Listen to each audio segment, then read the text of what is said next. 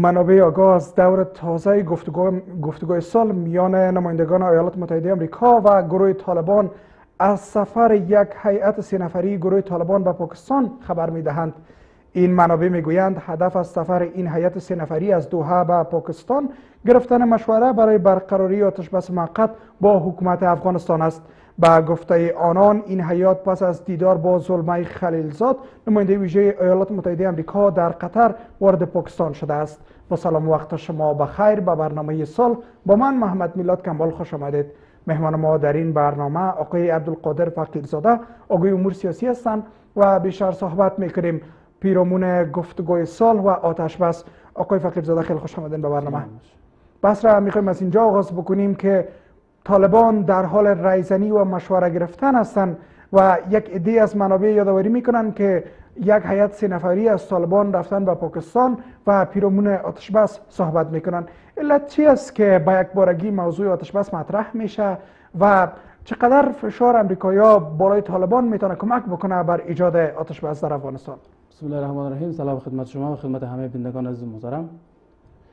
خب از آنجا که مشخص است صلح به عنوان یک از نیازمندی اساسی مردم افغانستان مطرح بود و مطرح هست و همچنان خواهد بود. اما تلاش هایی که در یک سال بیشتر از یک سال در اواخر صورت گرفت توسط آمریکا خب متاسفانه باید بگم که باید در اول عرض بکنم که بیشتر مسئله یا جنبه انتخاباتی برای آمریکا داشته تا اینکه منافع ملی مردم افغانستان در او مطرح باشه. خب حالا بعد از یک بنبست عجیب و غریبی که توسط ترامپ به وجود آمد بین مذاکرات طالبان با آمریکا. حالا دور جدید گفتگو آغاز شد و یکی از پیش های اساسی که آمریکا برای بیرون رفت از این بنبست یا حداقل ادامه گفتگوها آغاز کرده یا گذاشته مسئله آتش بس حداقل در روزه است. به خاطر اینکه حداقل اطمینان پیدا بکنه که طالبا یا حداقل طرف مقابل آمریکا به این گفتگوها ارج می‌گذاره یا خیر. خب ما شاهد هستیم که طالبا به خاطر اینکه حسن نیت خود را نشان بدن یک وقفه کوتاه گرفتن و رفتن با رهبرانشان در واقع گفتگو کردن. که من فکر می‌کنم پیشتر شما در گزارش خود خواندید که با رهبران طالبان نشستن تا اینکه با رهبران با رهبران پاکستان نشستن تا اینکه با رهبران خودشون بشینن. خب من فکر می‌کنم که همون دیدگاه های قبلی بیشتر تازه تر می‌شد اینکه عقبه عقبه طالبان پاکستان است و پاکستان آیسای پاکستان همواره جنگ های استراتژیک خود را در واقع می‌خواهد در افغانستان جاری داشته باشه تا اینکه مسائل صلح بیشتر توجه داشته باشه. پس گفتگوهای صلحی که ادامه داده شده بیشترش به اراده پاکستان و آیسای بستگی داره که آیا پاکستان می‌خواهد در واقع ده روز بین آمریکا بین حکومت افغانستان و طالبان یک آتش صورت بگیره یا خیر؟ حالا ذهنیت تا پاکستان چقدر تغییر کرده ما شاید ازی بودیم که مثلا آقای عمران خان از صلاح خیر طالبان به خاطر صلح افغانستان یادآوری کردن سفرهای مختلف با آقای ترامپ داشتن و حتی امروز هم امریکا من حیث یک دوست استراتژیک با پاکستان مینگره چقدر ذهنیت طالبات هنوز؟ پاکستان چقدر تغییر کرده پیرامون صلح افغانستان؟ خب من فکر می‌کنم که پاکستان از خود در کشور در منطقه در کشور افغانستان و در منطقه پیرامون افغانستان منافع خود را دارد. تا وقتی که تا زمانی که منافعش تامین نشود توسط فشار امریکا توسط فشار طالبان یا حداقل جبهه نظامی طالبان هیچ وقت تن نمیده به همچین ممانعتی که از طالبان صورت, صورت باید بگیره توسط پاکستان. ما ما بگذاریم تمام مردم افغانستان به اراده پاکستان به دیده شک می نگرند به خاطری که پاکستان ثابت ساخته. منافعش یا هر کشور دیگه بلخصوص پاکستان ثابت ساخته که منافعش اولویت داره نسبت به هر آن اتفاقی که در منطقه باید اتفاق بیفته. ما شاهد هستیم که پاکستان به هر صورتش در تجهیز و تمویل از لحاظ ایدئولوژیکی از لحاظ مالی از لحاظ تسلیحاتی طالبان را کمک کرده و امروز هم ما شاهد هستیم که عملا طالبان به خاطر اراده گرفتن با پاکستان سفر می‌کنن. پس ما فکر می‌کنم اراده پاکستان یا حد قلم روی کرد پاکستان نسبت به صلح افغانستان هیچ تغییر تا هنوز ما شاهد نشد مشاهده نکردیم. تا زمانی که ما شاهد یک آتش بس موقتی حداقل ده روز بین طالب و بین حکومت افغانستان باشیم. یک نکته باریکی که باریکی که باید متوجه باشیم این آتش بس میان کی؟ میان گروه طالبان و آمریکا یا میان گروه طالبان یا حکومت افغانستان؟ که بیشتر باید تمرکز روی صورت بگیره که آتش بس باید میان گروه طالبان و نیروهای نظامی افغان صورت بگیره. اگر این آتش بس صورت بگیره در پهلوی از که می‌تونه نیت طالبان را پیرامون صلح افغانستان برملا بسازه چقدر می‌تونه یعنی زمانت بخش باشه برای امریکا که طالبان یک گروه واحد هستند. خب بدون شک آمریکا به خاطر که حداقل بتونه به این نتیجه برسه که آیا کسانی که در قطر یا به عنوان نماینده سیاسی طالبان در قطر فعالیت می‌کنن واقعا وابستگی شدید گروه نظامی ای این دسته با این موافقت داره یا خیر؟ به مخاطر آمدن یک پیش شرط گذاشتن. صرفا به خاطری که از یک لحاظ اعتبار بخشیده شده به پروسه و از لحاظ دیگه که اونا به این نتیجه برسن که واقعا طالبانی که در قطر هستن همون طالبانی هستن که در جبهه ها جنگ می‌کنن یا متفاوت تر از این هستن. در واقع یک هم اعتبار بخشی است به پروسه و هم شناخت از طالبان جنگی با گروه های سیاسیشان. حالا این فشار می‌تونه کمک بکنه بر آتش بس مثلا فشار را که فعلا امریکا بالای طالبا آوردن و چند روز پیش نماینده طالبا هم یادآوری کرد که تا زمانی که پیمان خروج نیروی خارجی از افغانستان به امضا نرسه و توافقنامه صورت نگیره اونا حاضر به آتش بس نیستن. چقدر می‌تونه فشار امریکا بالای طالبان کمک بکنه به اینکه ذهنیت طالبا بر آتش بس مثبت شود خب بدون شک از لحاظ تبلیغاتی طالبان در واقع تلاش می‌کنن که خود را منسجم نشان بدن. حتی ما چند روز قبل شاید بودیم که سخنگوی دفتر قطر طالبان. گفته بود که تا وقتی که تمام نیروهای خارجی از افغانستان خارج نشوند ما آتش بس نمی کنیم اما از لحاظ سیاسی از لحاظ جنبه عملی ما می‌بینیم که طالبان در بین خود دچار یک سری تزلزل, تزلزل هستند و در واقع امو جبهه سیاسی شاید قل امو قشر سیاسیش با قشر نظامیش یک کمی فاصله داره. به همین منظور هم از طالبان به جایی که نمایندگان قطر به جایی که برن به سمت رهبران رهبران خود رفتن به سمت پاکستان و رهبران پاکستان حکومت پاکستان تا اینکه با او کسایی که در جبهه نظامی فعالیت می‌کنه حداقل اقناع یا حداقل فشار وارد بکنن تا این گروه را منسجم نشان بده. در واقع من فکر می‌کنم که حالا ما اگر زیاد خوشبین هم نباشیم طالبان بین بین خود دچار یک سری تزلزلات و یک سری مشکلات ها هستند اگر احیانا یک کتله بیاین با گروه سیاسیشان یا حداقل گروه گفتگو کندهشان موافقت داشته باشند یک قشر عظیمشان مطمئنا که با گروه های دیگه که متاسفانه این وضعیت قابل پذیرش برای ما شما نیست. طالبان چقدر حراس دارن از آتش بس و چرا نمیپذیرن آتش بس را؟ علت چی است که طالبات تا دقیقه 90 می‌خواهند منتظر بگذارن امریکا و حکومت افغانستان را پیرامون آتش بس خب در این جای شکی نیست که در هر جنگ و در هر صلح دست بالا را ما تا زمان می‌تونیم داشته باشیم تا اینکه از یک قوه اقتدار وارد شویم. طالبا هم به جز از این که میلی تفنگ را دارن دیگه هیچ چیز دست ندارن. بنان تا آخرین نقطه کوشش می‌کنن که از این ملی تفنگ استفاده بکنن و به نحوی به منافعی که اونا می‌خواین و در عقبش به منافعی که پاکستان می‌خواه رسیدگی صورت بگیره. پس من فکر می‌کنم که طالبان به نحوی از انها تلاش دارن که نیروهای خارجی را از افغانستان در حد تقلیل برسانن تا اینکه فردا ادعای کرده بدانن درسته که ما مذاکره کردیم و درسته که ما به آتش بس تن دادیم اما بدل یا عوضش خروج نیروهای خارجی بوده. یعنی منفعت گرفتن است. تنها هدفشان ای است که یک قدرت بیشتر منفعت بیشتر و حداقل دست و وجهه بیشتر در میز مذاکرات داشته باشند به همین منظور است که تن به آتش بس نمیدن. و اگر احیانا حکومت نماینگر چی است؟ حکومت افغانستان در این چند روز پیرامون صلح افغانستان سکوت کرده و تمجید هم نکرده در مقابل حالا فشار هم نورده به که این گفتگوها تحت تاثیر قرار بده. آیا از عملکرد امریکا و مثلا آقای خلیلزاد حکومت افغانستان راضی است که خاموش است؟ خب متاسفانه باید بگم که حکومت مردای افغانستان در واقع تلاش می‌کنن که با همه مسائل ملی یک شکل و شمایل کمپاینی یا منفعت محور یا حداقل قدرت محور برای خود بدن تا اینکه منافع اولیای کشور را در نظر بگیرن. ما شاهدی بودیم که جنجال ها و کشمکش های انتخاباتی در حال عبور است. امروزه امروزه ما می‌بینیم که آمریکا هم در واقع طرفدار او گروه و او کتله هست که بتونه حداقل مانع برای پروسه صلح واقع نشود. حکومت افغانستان ظاهرا تلاش می‌کنه خود را مانع پروسه صلح نشان نده. اما در واقع عملا ما شاهد هستیم که حکومت هیچ برنامه برای صلح نداشته و نداره هم. و همچنان این سکوتش سکوت معناداری است که آبش گلمش از آب بگذره. در واقع این انتخابات مسئله روشن شود اگر رئیس جمهور شخص مشخص یا حداقل تیم مشخص که در رأس قدرت هم هنوز قرار داره به عنوان رئیس جمهور رئیس جمهور شد حالا او زمان است که چی واکنش نشان میده اما ما فکر می‌کنم حکومت افغانستان جناهای مختلف سیاسی افغانستان و گروه هایی که زیدخل هستند در قضای افغانستان سکوتشان به نحو معنادار است و به نحو منفعت محور است که بیشتر به فایده مردم افغانستان نیست. چون در این مرحله حساس لازمیت ای را داره که ما به یک اجماع و یک دست واحد به سمت پروسه بریم. بر یادآوری کردیم که حکومت افغانستان برنامه مشخص ندارن پیرامون سال.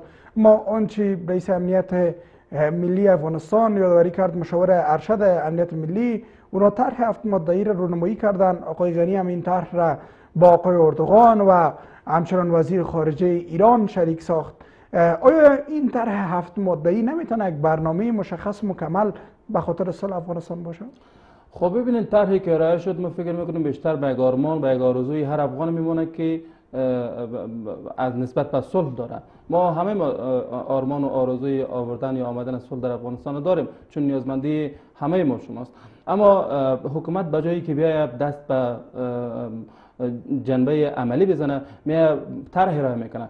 شما شاهد هستید که یک سال قبل از انتخابات تا یک سال قبل از انتخابات حکومت افغانستان یا حداقل در رأس محمد اشرف غنی چقدر تند گونه یا چقدر دو آتشه به سمت صلح روان بود و سینه صلح سنگ صلح به سینه خود میکوبید. اما زمانی که به این نتیجه رسید که انتخابات برگزار شده نیست شاهد بودیم که آمد پروسه با پروسه صلح بایکات کرد و جنبه دیگه ای از بازی را پیش گرفت که مسئله انتخابات بود و, و عملا شاید هستیم که چی فجایی هم به بار آورد. تاثیر نتایج انتخابات چقدر می‌تونه بر پروسه صلح لطمه بزنه و در بود دیگه چقدر می‌تونه کمک بکنه بر پیشرفت گفتگوی میان الافغانی و گفتگوی صلح امریکا و طالبان؟ خب ما می‌خوایم یک مکس کوتاه اینجا داشته باشم.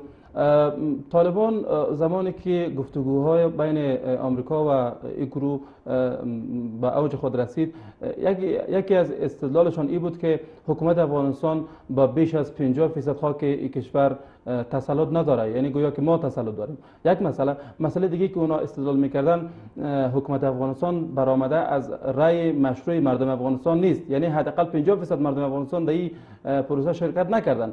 حالا عملا ما شاهد هستیم که از 17 18 میلیون واجد شرایط 9 میلیون بیشتر از 9 میلیون ثبت نام کردن و حتی یک میلیون و کم بیشتر از یک میلیون رای دادن. بنابراین یک استدلال بسیار قوی که به دست طالبان میده هر اون نتیجه ای که حکومت این کمیسیون ها بالاخره برای ما بکشن و یک شخص یا هر شخص دیگه که به عنوان رئیس جمهور مشخص شود طالبان به این استدلال می‌تونن فایق بیاین که حکومت ما یا حداقل امو نتیجه انتخابات ما در واقع اراده تمام مردم افغانستان نیست یا حداقل اراده 50 درصد مردم افغانستان نیست. چه برسه که تمام مردم افغانستان؟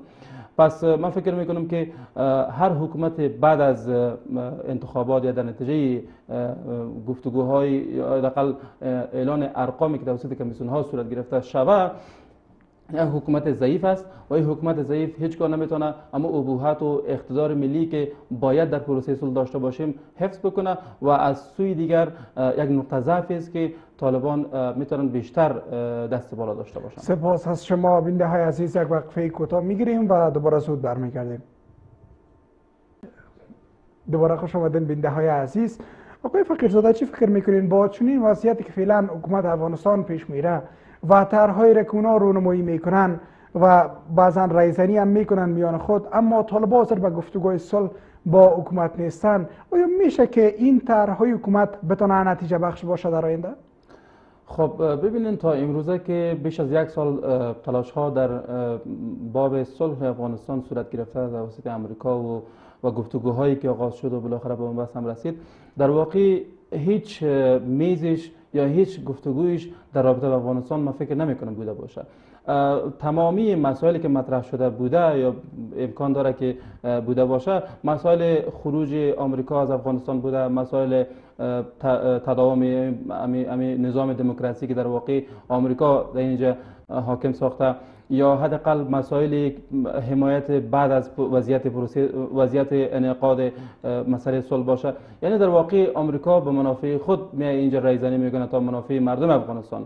پس من فکر می‌کنم که بیشتر ما باید منتظری باشیم که آمریکا در باب گفتگوها گفتگوهای بین الافغانی چقدر می‌تونه کوشش بکنه و تلاش بکنه. و سوی هم حکومت افغانستان و یا هر هر آن جناها و طرف هایی که در رابطه با صلح افغانستان تلاش می‌کنن زحمت می‌کشن چقدر صادقانه تلاش می‌کنن تلاش پنج سال حکومت وحدت ملی را به خاطر صلح بسنده می‌بینین بر وضعیت فعلی افغانستان؟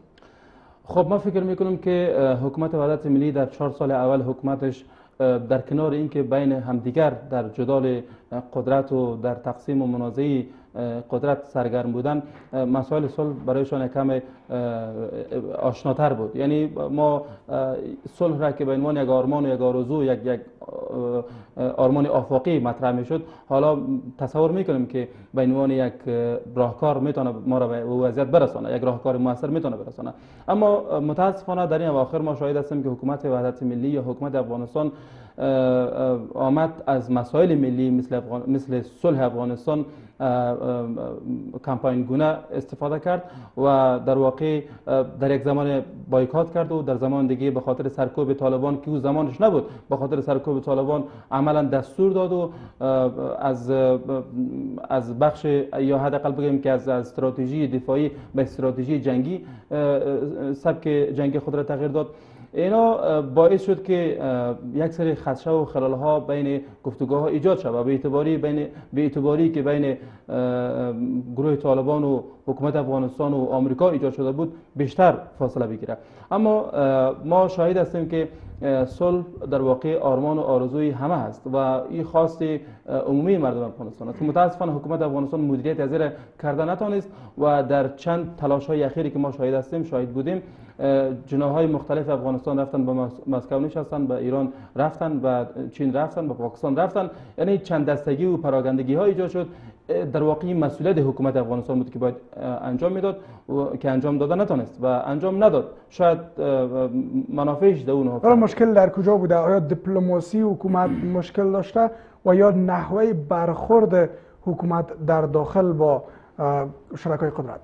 هر دو طرف می‌تونه بیشتر دخالت داشته باشه. اما دیپلماسی که یکی از مهمترین ارکان و تاثیرگذارترین مؤلفه در ایجاد یک هویت ملی هست. بیشتر می‌تونه نقش بازی بکنه چنانچه باید حکومت افغانستان قبل از اینکه پروسه صلح به داغی خود می‌رسید یک اجماع ملی را ایجاد می‌کرد یا حداقل بین سران سیاسی و رهبران سیاسی و حداقل کسانی که یا جناهایی که دخیل هستند در قضای افغانستان اونا را جمع می‌کرد و روی این مسئله صلح حداقل روی مسئله صلح افغانستان یک وحدت فکری را یک خط فکری مشخص را ایجاد می‌کرد که نکرد. در پیرامون این مسئله حداقل یک یک گروهی از دیپلماتان ورزیده را برای مذاکره ضمنی با طالبان که عقبه با پاکستان که عقبه طالبان هستند با چین با ایران با سایر کشورهای منطقه ایجاد می‌کرد که حداقل خواست و منافع اونا مشخص می‌شد که منافعشان و حداقل نقطه نقطه چالش هایی که اونا در این منطقه می‌بینن که باید حل شود مشخص می‌کرد که نکرد. و از سمت دیگر ما شاهد هستیم که هیئت گفتگو کننده را هم با چه فضاحتی اعلان کرد و با چه بدبختی پس برگشتن اگر پنج سال حکومت وحدت ملی را مد نظر بگیریم و دیپلماسی را که حکومت وحدت ملی داشت مقایسه بکنیم با دیپلماسی که طالبان استفاده کردن مخصوصا در یک سال چقدر تفاوت داشته و چیز باعث از این شده که طالبا بخواین از یک نقطه قوت در مقابل امریکا و حکومت افغانستان صحبت بکنند بسیار تفاوت زیادی در حد 180 درجه. ما شاهد هستیم که در یک سال اخیر یا حداقل در پنج سالی که حکومت وحدت ملی شکل گرفت و بالاخره در یک سال اخیر طالبان به سمت سعودی در حرکت هستند. از, از, از, از یک گروه کوچک نظامی از یک گروه کوچک استخباراتی و جنگی آمدن به یک گروه بزرگ سیاسی و تا جای هم ما می‌تونیم که گروهی که به عنوان نجات بخش یا حداقل گروه نجات ملی مطرح شدن در میزهای بزرگ جهانی را پیدا کردن. با آمریکا آمریکا رو با چالش می‌کشن. اینا تمامی کشورهای منطقه سر طالب حساب می‌کنن.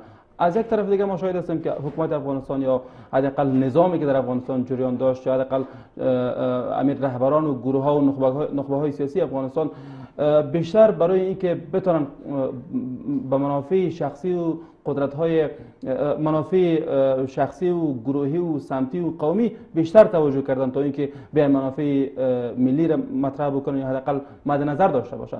پس ما فکر می‌کنم که خطوط سرخی را که ما باید در اوایل مبحث می داشتیم که متاسفانه نداشتیم این باعث شد که ما به سمت نزول حرکت بکنیم و گروه طالبان که یک گروه جنگی کوچک بودن امروز آمدن در میزهای بزرگ جهانی قدرت های جهانی را به چالش می‌کشن رهایی انس چقدر می‌تونه کمک بکنه بر پروسه افغانستان؟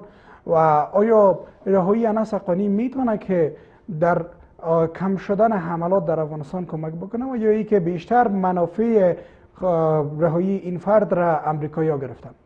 خب در این جای شک نیست که در رهایی آمریکا در رهایی انس حقانی آمریکا همکاره بود. یعنی انس حقانی که ده روز قبل از رهاییش خط سرخ حکومت افغانستان بود اما زمانی که آمریکا با گذاشت مثلا توسط با حمایت و با حداقل بگوییم که با تشویق طالبان می‌بینیم که حکومت افغانستان هیچ کاری بین نماند یا نبود. ما فکر می‌کنم که رهایی هنس قانی بیشتر از این که به اعتبار به اعتبار گفتگوی بین الافغانی بخشیده باشه بیشتر یک اعتبار بخشی یا اعتبار دهی بود که توسط آمریکا به طالبان داده شد. یعنی یک اعتباری بود که آمریکا به طالبان بخشید تا اینکه گفتگوها پس از سر گرفته شود. که در عوضش هم ما فکر می‌کنیم که یعنی آتش بس یا اعلان آتش بس در روزه توسط طالبان بوده باشه. یعنی می‌تونم مسمر باشه بر گفتگوهای صلح میان افغانی و آتش بس خب بدون شک می‌تونه که مثمر باشه. اما بیشتر خدمت شما تاکید کردم که بیشتر مفاد این رهایی انس حقانی را آمریکا برد تا افغان افغان ها ببرن. و ما فکر می‌کنیم که بیشتر تانست بر ادامه گفتگوها یا حداقل به اعتبار گفتگوها بین آمریکا و طالبا بیافزاید تا اینکه یک روح مثبت را در جنگ یا حداقل در عدم نبرد با نیروهای افغان بازی کرده باشه. هزینه امریکا در 18 سال در افغانستان واقعا امریکا را تانسته به منافعی که اونا می‌خواستن در افغانستان برسانه و یا که امریکا در جنگی که داشت شکست خورده. خب در جای شکی نیست که آمریکا با توجه به منافعش در افغانستان در منطقه و در بسا کشورهای دیگه حداقل ساختار نظامی خود را حفظ کرده و تداوم بخشیده و تا زمانی که منافعش در اونجا نهفته باشه بدون شک از اونجا نمیره هم از اونجا خروج هم نمی‌کنه. اما در افغانستان ما شاهد هستیم که حضور آمریکایی ها در, در منطقه می‌تونست می‌تونه و می‌تونست بسیاری از مشکلات آمریکا را در این منطقه حل بکنه حداقل از بسیاری نگرانی های آمریکا در منطقه جلوگیری صورت بگیره یا جلوگیری بکنه. مثلا ما مسئله ایران نداریم که در واقع یکی از خار چشم شما. یکی از خار یکی از بزرگترین خار چشم برای آمریکا حضور پیدا کرده مسئله چین هست مسئله پاکستان و مسئله هند است تشکر از شما. فکر می‌کنم که مورد توجه امریکا است تشکر از شما آقای عبدالقادر فقیرزاده. آگاه امور سیاسی. سپاس بینده های عزیز که تا این بیننده برنامه ما بودین. با افغان باشین. شب شما بخیر.